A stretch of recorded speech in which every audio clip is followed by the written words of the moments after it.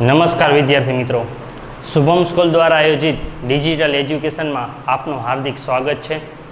આજે ધોરણ છ, વિષય સામાજિક વિજ્ઞાન, એના પ્રકરણ નંબર નવ, આપણું ઘર પૃથ્વી, એના વિશે આજે થોડી ઘણી ચર્ચા કરશું. હવે આપણે અગાઉના વીડિયો લેક્ચરની અંદર, જે આપણા ઘરની અંદર, જે સૌર મંડળની અંદર જે બધા ગ્રહો આવતા હતા, એ ગ્રહોની માહિતી મેળવેલી.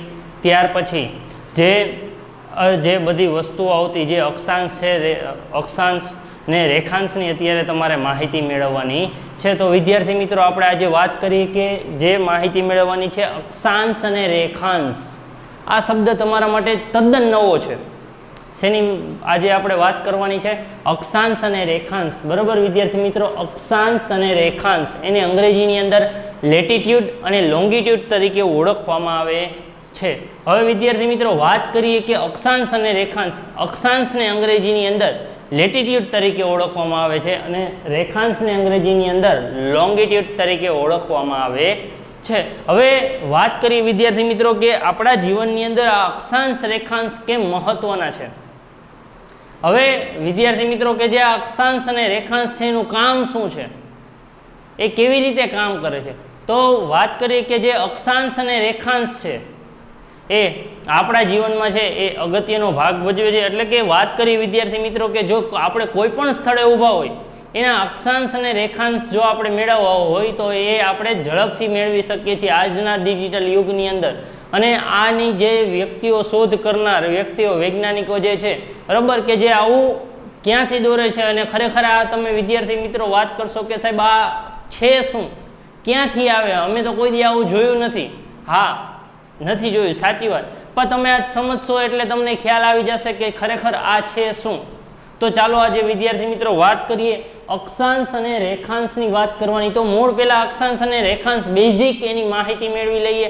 હવે બેઝિક માહિતીની અંદર પૃથ્વીના ગોળા ઉપર આડી અને ઊભી કાલ્પનિક રેખાઓ છે, જેને અક્ષાંશ અને રેખાંશ તરીકે ઓળખવામાં આવે છે. જો, હવે વિદ્યાર્થી મિત્રો આ ખાસ એક વાત મગજમાં બેસાડી લેજો કે પૃથ્વીના ગોળા ઉપર કે પૃથ્વીનો જે તમને ગોળો દેખાય છે, મેં તમને અગાઉના વીડિયો લેક્ચરની અંદર દેખાડ્યો હતો અને અત્યારે પણ જે દેખાય છે. બરાબર? કે પૃથ્વીના ગોળા પર દોરવામાં આવતી આડી, જે આપણે આમાં આડી લાઈન દોરીએ, દોરવામાં આવતી આડી અને ઊભી, ત્યાં ઊભી લાઈન દોરીએ. બરાબર? એવી કાલ્પનિક રેખાઓ. કેવી? કાલ્પનિક રેખાઓ. એટલે કે જેની કલ્પના કોઈ પણ વિસ્તારની અંદર અથવા તો કોઈ પણ પૃથ્વીના ગોળા ઉપર આવી એક પણ પ્રકારની રેખા દોરેલી નથી. પણ એ રેખા ક્યાં છે? આપણા મગજની અંદર, વૈજ્ઞાનિકોના મગજની અંદર. બરાબર? એટલે કે શું કીધું? કે પૃથ્વીના ગોળા ઉપર દોરવામાં આવતી આડી અને ઊભી કાલ્પનિક રેખા, ખાલી ફક્ત એની કલ્પના કરવાની આપણે, કે આવી કંઈક રેખાઓ ક્યાંક છે. પૃથ્વી ઉપર આવી કંઈક રેખાઓ છે, એને આપણે અક્ષાંશ રેખાંશ તરીકે ઓળખીએ છીએ. અક્ષાંશ અને રેખાંશને આપણે હમણાં અલગ અલગ ભાગની અંદર સમજીએ. તો ત્યાર પછી, પરંતુ આ કાલ્પનિક રેખાઓ દ્વારા પૃથ્વીના કોઈ પણ સ્થળનું ચોક્કસ સ્થાન અને સમય જાણી શકાય છે. હવે આ અક્ષાંશ અને રેખાંશ આપણા જીવનની અંદર શું ઉપયોગી છે કે કોઈ પણ સ્થળનું? હવે હું અને તમે આ સ્થળે અહીંયા ઊભા છીએ, બરાબર? તો એનું જે અક્ષાંશ અને રેખાંશ માપવું હોય તો એ આપણે સરળતાથી મેળવી શકીએ છીએ. અને આજના ડિજિટલ યુગની અંદર આપણે બધા એન્ડ્રોઈડ ફોનનો ઉપયોગ કરતા જોઈએ તો જે અક્ષાંશ લેટિટ્યુડ અને લોંગિટ્યુડ નામની એપ્લિકેશનનો ઉપયોગ કરી જે તે સ્થળના તમે અક્ષાંશ અને રેખાંશ છે એ આરામથી મેળવી શકો. એટલે વાત કરીએ કે એ છે એ પરંતુ શું કીધું? પરંતુ કલ્પ, કલ્પિત રેખાઓ દ્વારા જે આ કાલ્પનિક રેખાઓ છે આપણા મગજની અંદર ખાલી છે. કે ક્યાંય પૃથ્વીના ગોળા ઉપર નથી દોરેલી. આપણા મગજની અંદર છે એવી કલ્પિત રેખાઓ છે. એ શું છે? એના દ્વારા કોઈ પણ સ્થળનું ચોક્કસ માપ અને એનો સમય છે એ ચોક્કસ આપણે શું મેળવી શકીએ છીએ? કે ચોક્કસ માપ અને ચોક્કસ સ્થળનો સમય આપણે આરામથી જાણી શકીએ છીએ. અને ત્યાર પછી આગળ વાત કરીએ કે જમીન પર આ રેખાઓ હોતી નથી. મેં તમને જેવી રીતે વાત કરી એ મુજબ કે જમીન ઉપર આ એક પણ પ્રકારની રેખાઓ હોતી નથી. પરંતુ આ રેખામાં માત્ર નકશામાં જ જોવા મળે છે કે તમે જે નકશાની અંદર જુઓ, બરાબર કે નકશામાં ત્યારે માત્ર આ જ રેખાઓ તમને જોવા મળે છે. એટલે કે કોઈ પણ જે જમીન ઉપર એક પણ પ્રકારની રેખા છે નહીં. હવે ત્યાર પછી આગળ વિદ્યાર્થી મિત્રો વાત કરીએ. હવે આપણે બેયની બેઝિક માહિતી મેળવી લીધી છે. હવે એના પછી વાત કરવાની અક્ષાંશની. જે અગત્યનો ભાગ ભજવે છે અક્ષાંશ અને રેખાંશ સમજવા માટે. અગત્યનો જે ભાગ ભજવે છે એ અક્ષાંશ. તો આપણે વાત કરવાની. હવે અહીંથી ધ્યાનથી સાંભળતા જજો અને ધ્યાનથી જોતા જજો વિદ્યાર્થી મિત્રો. કે શું કીધું કે પૃથ્વીના ગોળા ઉપર દોરેલી આડી કાલ્પનિક રેખાઓને અક્ષાંશ તરીકે ઓળખવામાં છે કે પૃથ્વીનો ગોળો છે. એના ઉપર દોરેલી આડી કાલ્પનિક રેખા. કેવી? આડી. આ આ તમને જે આડી રેખાઓ દેખાય પરંતુ કેવી? કાલ્પનિક. જે આડી કાલ્પનિક રેખાઓ. બરાબર? જે દોરેલી છે, એને કયા નામથી આપણે ઓળખીએ છીએ? કે અક્ષાંશના નામથી ઓળખીએ છીએ. એટલે શું કીધું કે પૃથ્વીના ગોળા પર દોરવામાં આવતી આડી કાલ્પનિક રેખા છે, એને અક્ષાંશ તરીકે ઓળખવામાં આવે છે. ત્યાર પછી વાત કરી કે પૃથ્વીની સપાટી પરના કોઈ પણ સ્થળને, જો સીધી રેખાથી પૃથ્વીના કેન્દ્ર સ્થાને જોડવામાં આવે તો તે વિષવવૃત્તીય કાલ્પનિક સપાટી સાથે કેન્દ્ર આગળ જેટલા અંશનો ખૂણો બનાવ, ખૂણો થાય તેટલા અંશનો એ અક્ષાંશ કહી શકાય. હવે વિદ્યાર્થી મિત્રો, આની અંદર શું કીધું કે જે આપણે જે પૃથ્વીના જે વિષવવૃત્તથી જે તે વિસ્તારનું આપણે માપ જાણવું હોય, બરાબર, જેટલા અંશનો ખૂણો બનાવે, એને આપણે અક્ષાંશ અને રેખાંશ તરીકે ઓળખીએ છીએ. હવે વાત કરીએ વિદ્યાર્થી મિત્રો કે અહીંથી હું વાત કરું, શું કે પેલા મેં તમને વાત કરી લીધી કે બેઝિક કે પૃથ્વીના ગોળા ઉપર દોરવામાં આવતી આડી અને ઊભી. એટલે શું આ અક્ષાંશની વાત કરીએ એટલે કે પૃથ્વીના ગોળા પર દોરવામાં આવતી આડી. આડી કાલ્પનિક રેખાઓ છે, એને કયા નામથી ઓળખીએ છીએ? કે જે આ આડી કાલ્પનિક રેખાઓ છે, એને અક્ષાંશના નામથી ઓળખીએ છીએ. કેના નામથી વિદ્યાર્થી મિત્રો? અક્ષાંશના નામથી ઓળખીએ છીએ. સરસ. હવે ત્યાર પછી આગળ વાત કરીએ વિદ્યાર્થી મિત્રો. હવે કોઈ પણ સ્થળનો આપણે અક્ષાંશ જાણવો હોય, કેટલા અંશ ઉપર અથવા તો કેટલા ખૂણે આવેલો છે, તો એ જાણી શકીએ. હવે એ કઈ રીતે? તમે આ જુઓ. આ તમને જે મધ્યનો ભાગ આપેલો એ વિષવવૃત્ત એટલે કે પૃથ્વીના અંદરનો ભાગ છે. પૃથ્વીના મધ્યનો ભાગ, જે બે પૃથ્વીના એક સરખા બે ભાગ કરવામાં આવ્યો અને જે એના મધ્યનો ભાગ છે એના, હવે એનું આપણે કોણીય અંતર દ્વારા એનું અક્ષાંશ કઈ રીતે માપી શકાય? કે પૃથ્વી છે? હવે આ વિષવવૃત્ત છે, કેટલા અક્ષાંશે છે? કે વિષવવૃત્ત છે, જીરો અક્ષાંશે આવેલો છે. વિષવવૃત્ત કેટલા અક્ષાંશે, વિદ્યાર્થી મિત્રો? ઝીરો અક્ષાંશે વિષવવૃત્ત આવેલું છે. બરાબર? તો વાત કરીએ કે વિષવવૃત્તથી જે આ ઉપરનો ભાગ તમને જોવા મળે, બરાબર? એ કેટલા અંશનો ખૂણો બનાવે? તમે માની લો કે એ વીસ અંશનો ખૂણો બનાવે છે. તો એની જે ત્યાંથી આ જે સીધી લાઈન છે કેટલા અંશનો ખૂણો બનાવશે? વીસ અક્ષાંશ કહેવાશે. ત્યાર પછી ઉપર જઈએ, એની ઉપરનો જે વાત કરીએ. બરાબર? કે એની ઉપર એ ચાલીસ અંશનો ખૂણો બનાવશે, તો એને ચાલીસ અક્ષાંશ કહીએ. ત્યાર પછી ઉપર વાત કરીએ. એ બીજો સાઠ અંશનો ખૂણો બનાવશે. અહીંથી લઈને જે આ અંદર સુધીનો જે સાઠ અંશનો ખૂણો બનાવે, એને કયા નામથી ઓળખીએ? કે આ અક્ષાંશ.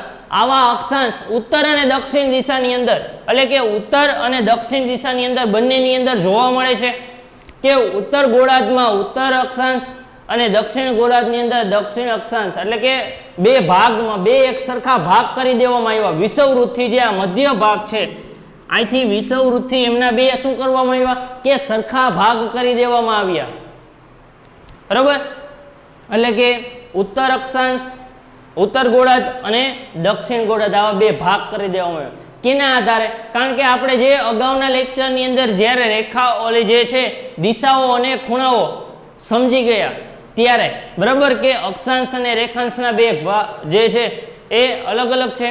એટલે આપણે જે પૃથ્વીના ગોળા ઉપર દોરવામાં આવતી આડી કાલ્પનિક રેખાને કયા નામથી ઓળખીએ છીએ કે ઉત્તર જે એને અક્ષાંશ તરીકે ઓળખીએ છીએ? અને જે વિષવવૃત્તિ જે ઉપરનો ભાગ છે, એને ઉત્તર ગોળાર્ધ અને વિષવવૃત્તિ જે દક્ષિણનો ભાગ છે, નીચેનો ભાગ છે, એને દક્ષિણ ગોળાર્ધ તરીકે ઓળખવામાં આવે છે.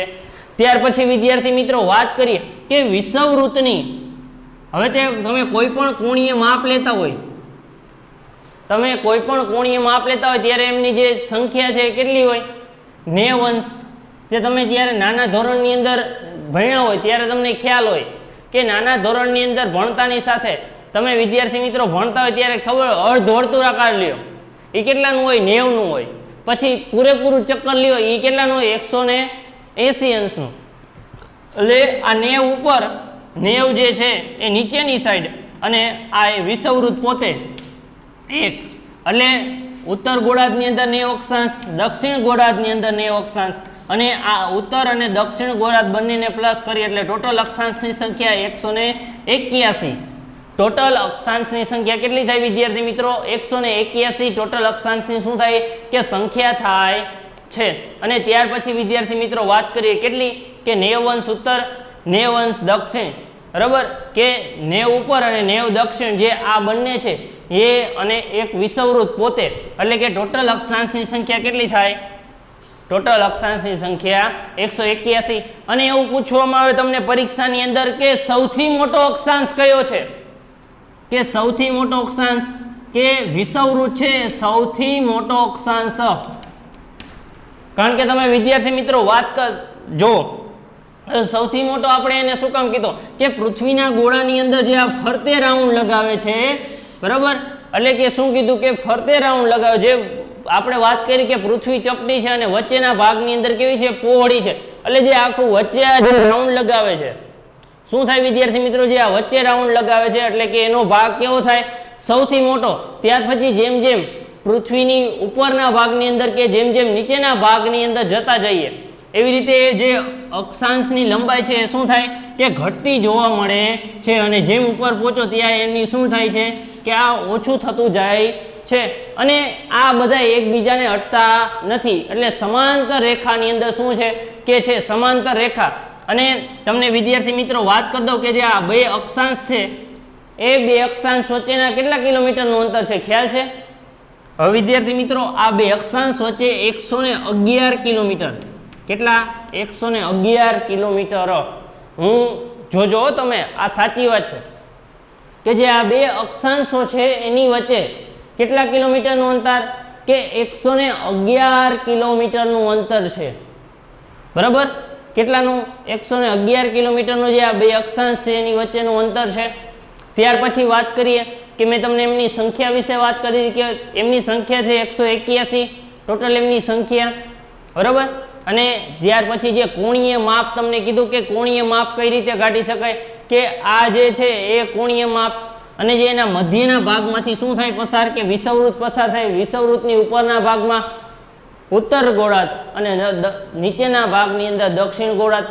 હવે ત્યાર પછી અક્ષવૃત્ત હવે વિદ્યાર્થી મિત્રો જોઈએ કે અક્ષવૃત્ત શું કહેવા માંગે છે? હવે એને થોડુંક સમજીએ. આપણે અક્ષાંશને સમજી લીધું. હવે ત્યાર પછી વાત કરી કે પૃથ્વી ઉપર ઉત્તર અથવા દક્ષિણ ગોળાર્ધમાં વિષવવૃત્તથી સરખા કોણીય અંતરે મળેલા સ્થળોને જોડનારું પૂર્વ પશ્ચિમ સળંગ વર્તુળને અક્ષા અક્ષવૃત કહે છે. હવે શું કીધું? જો કે પૃથ્વી ઉપર, કે શું કીધું કે પૃથ્વી ઉપર ઉત્તર અથવા દક્ષિણ ગોળાર્ધ? કે જે આ ઉત્તર ગોળાર્ધ છે કે આ દક્ષિણ ગોળાર્ધ છે? શું કીધું કે પૃથ્વી ઉપર ઉત્તર અથવા દક્ષિણ ગોળાર્ધમાં વિષવૃતથી સરખા કોણીય અંતરે? જે આ વિષવવૃત્ત છે, એનાથી સરખા કોણીય અંતરે, જે આ મધ્યનો ભાગ હતો.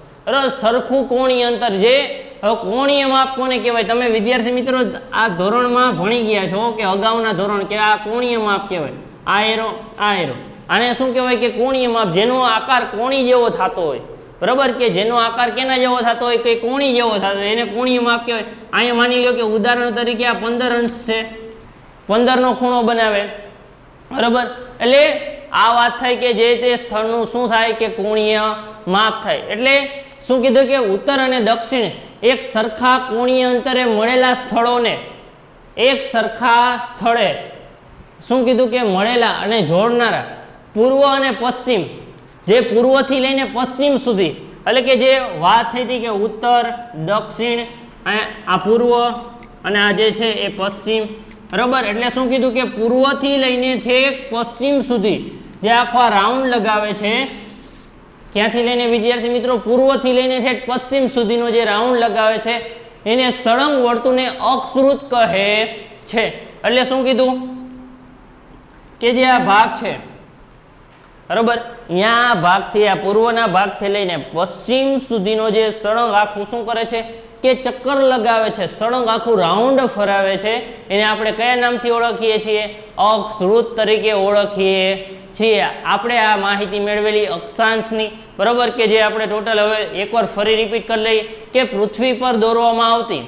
હવે તમારે જે છે અક્ષાંશ અને રેખાંશથી એકવાર રિપીટ કરી લઈએ કે અક્ષાંશ અને રેખાંશ પૃથ્વી પર દોરવામાં આવતી. આડી અને ઊભી કાલ્પનિક રેખાને અક્ષાંશ અને રેખાંશ તરીકે ઓળખીએ છીએ.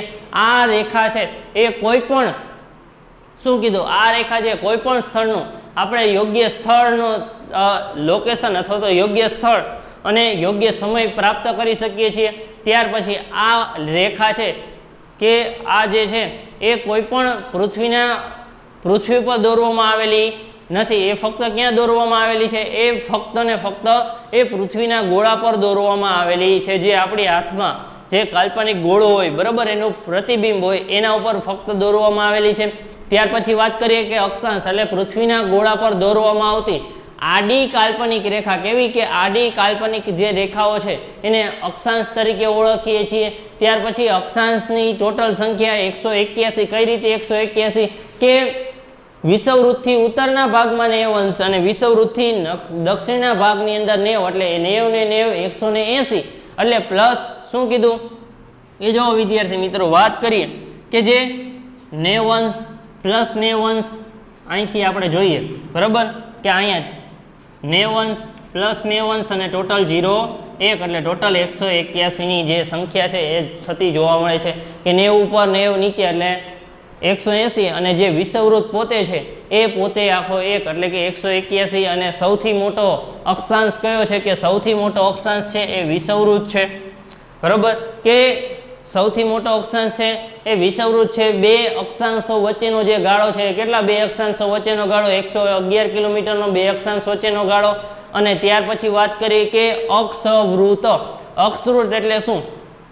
કે પૃથ્વીના ગોળાથી, જેના વિષવવૃત્તના મધ્ય ભાગથી લઈને કોઈ પણ સ્થળનું અક્ષાંશ કે રેખાંશ માપી શકાય છે. તમે આ જુઓ, જેટલા અંશનો ખૂણો બનાવે બરાબર એને અક્ષાંશ અને અક્ષાંશ તરીકે ઓળખીએ છીએ. એટલે શું કીધું કે ઉત્તર અથવા દક્ષિણ ગોળાર્ધમાં, બંનેના સરખા ભાગ છે, ઉત્તર અને દક્ષિણ ગોળાર્ધમાં સરખા કોણીય અંતરે મળેલા સ્થળોને જોડનારો પૂર્વ અને પશ્ચિમ, પૂર્વ અને પશ્ચિમથી જે ભાગ છે, બરાબર? એટલે કે જે આ પૂર્વનો ભાગ અને ત્યાંથી લઈને આ પશ્ચિમનો ભાગ છે, એ સમગ્ર આખું ચક્કર લગાવે.